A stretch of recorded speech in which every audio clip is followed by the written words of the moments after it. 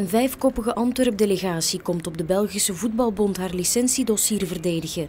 Zij moeten de commissie overtuigen van de continuïteit van de club naar volgend seizoen toe. Na een half uur pleiten komt de delegatie buiten. De gezichten lijken bedrukt, maar de club laat niet in haar kaarten kijken. De club heeft haar standpunt duidelijk gemaakt, heeft haar standpunt ook verdedigd. En de debatten zijn gesloten en uh, de beslissing zal waarschijnlijk op 10 april volgen. Heet hangijzer is de schadeclaim van ongeveer 5 miljoen euro die ex-voorzitter Eddy Wouters eist. Op de buitengewone algemene vergadering van dinsdagavond is voor die schadeclaim geen oplossing gevonden. Meneer Wouters is momenteel niet bereid van ook maar enige toegeving te doen. Dan ziet het er op zich niet goed uit voor Antwerpen. Nee, we hebben ons op dat vlak ook goed verdedigd. Uh, we mogen ook niet vergeten, de vorming van meneer Wouters wordt volledig betwist. En over de vorming van meneer Wouters is uiteindelijk ten gronde nog geen enkele uitspraak gedaan.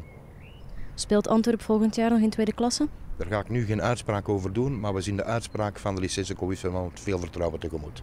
Op 10 april volgt dus de uitspraak. Als Antwerpen negatief advies krijgt, kan het wel nog in beroep gaan bij het BAS, het Belgische arbitragehof voor de sport.